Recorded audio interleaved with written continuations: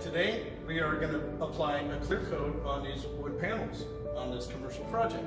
And the product that we are using is the Helmsman Minwax Clear Satin. Uh, let me show you the sample of how we're going to apply this.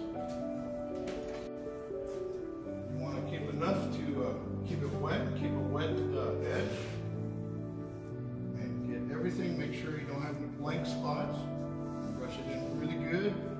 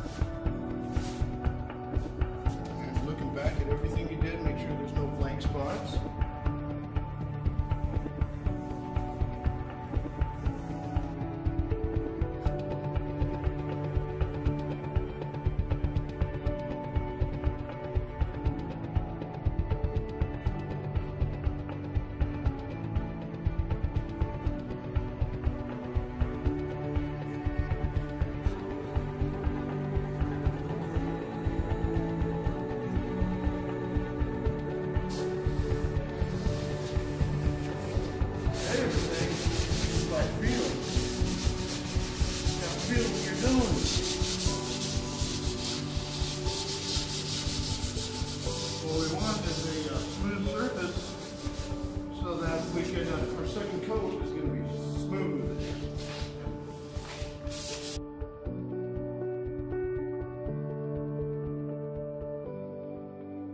When applying the clear, we have to do it consistently, top to bottom, each section at a time. Instead of trying to cut all the way across the top, you want to do that. To do each stroke at a time. Top to bottom, making sure you have this consistent